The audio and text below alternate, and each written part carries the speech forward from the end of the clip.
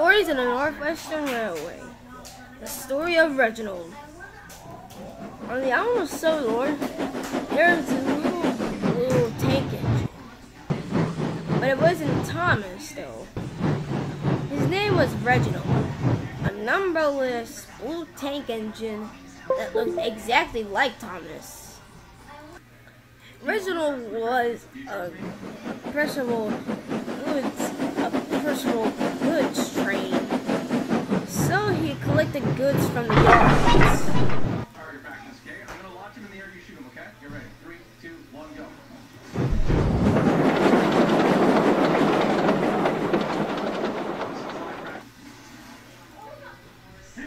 Let's go, Junior.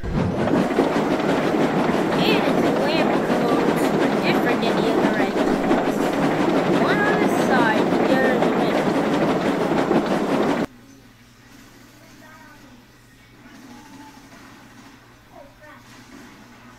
Years later, he was officially brought by Sir Topham Hatt and was one of the official engines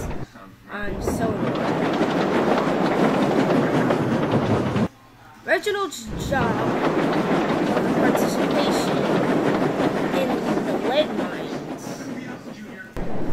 Reginald was hired by people in the lead mines and worked as a mining company engine. But years later, the mines had to be closed due to mine collapse. But Reginald kept on working, still suspicious of why the mines collapsed. But then Reginald guessed as he saw a paper on the ground. Hey driver, what's this? Reginald's driver read the paper, and it said, The Sodor's News. Closed mines leave 60 people without work. Unbannerized plans. Unemployment and the secret of the mines. After many debates ab- about what to do with Knapford's lead mines, the Olsted Mining Co. has decided to permanently close it, close its operations. This was decided due to the poor conditions its tunnels held after its collapse in 1993, leaving many miner, miners working under unhealthy and dangerous health conditions according to the Minister of Health and the Public Defender of Workers. It is unknown if the company will rehire its old workers in the Olsted mines, and it's unknown if the land will be used for future projects. Many doubt whether the collapse will be related to the mayor's plan, the new era of A massive real estate project that seeks to expand the city onto an urban scale, and which is much criticized Knapford Central Ho- Hotel, the famous 40-story skyscraper, which many mention completely breaks the ritual of the city. In the topic of mines and collapse, many obscure objects have appeared after the cleaning of the tunnel. The most two interesting being two steam locomotives from the beginning of the 2000th century, closely resembling engines nu- number one and number four of the Northwestern Railway. After consulting the director of the railway, it was clarified that there are no records of these two engines have be- belonged to the railway, and that although they resemble those already mentioned, they do not have any type of legal relationship. It is unknown what will be done to, with these engines. Many asked to include them in the, in the Vicarstown Railway Museum as part of the history of Sodor.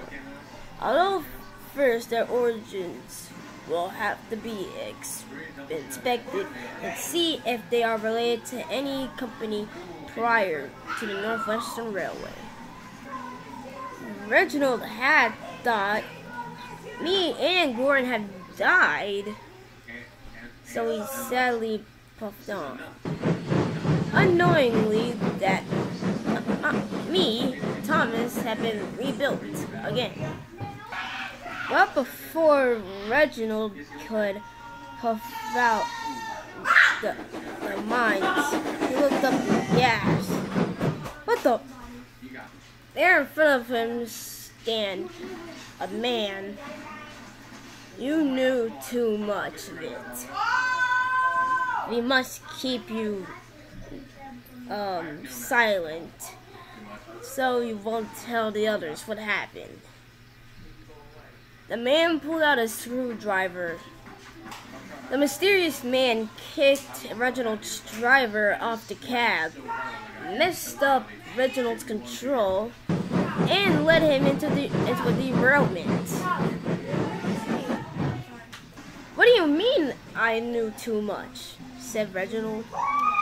Well, that newspaper was supposed to be secret, but we decided to keep it there until you found out that we hid it there. We know you were going to tell the engines that would happen. And we did not want the Fat Director to know we were up to this. So, you'll be staying here for a long time. Wait, what do you mean? With that, the man walked away. But then suddenly, Reginald saw the mysterious man pull up something in front of his driver. And what the? Hey, you don't have to do this. But then the mysterious man shot Reginald's driver.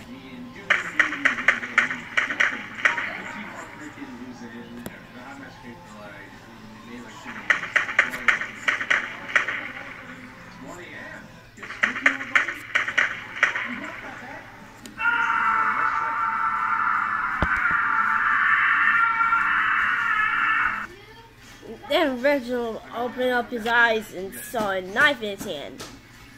Wait, don't kill my driver. The mysterious man soon walked up to the newspaper and took it. With that, the mysterious man walked away from the mines.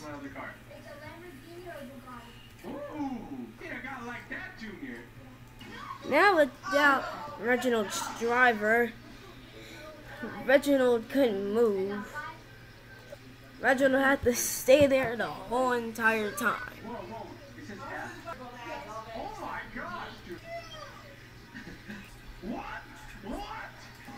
Soon, Reginald started to rust up. Reginald had rusted up in the hot sun. It was a few years after what had happened, Thomas was going to the lead mines. Thomas was puffing along the rails until his driver spotted something. Wait, Thomas, stop. Go back. What happened, driver? said Thomas.